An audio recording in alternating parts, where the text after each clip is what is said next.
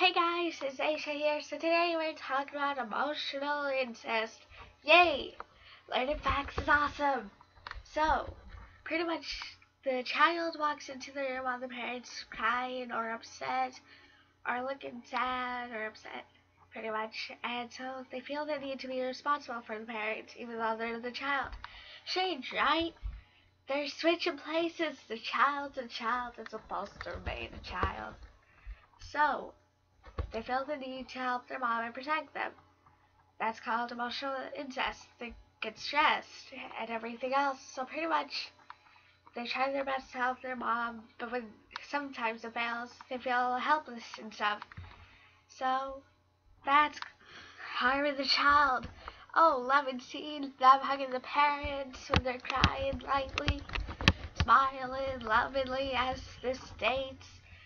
It's uh, not really loving as it says or looks. Sometimes that can be bad. Actually, most of the time it's bad. So, make sure you don't get caught in emotional incest. Thank you guys.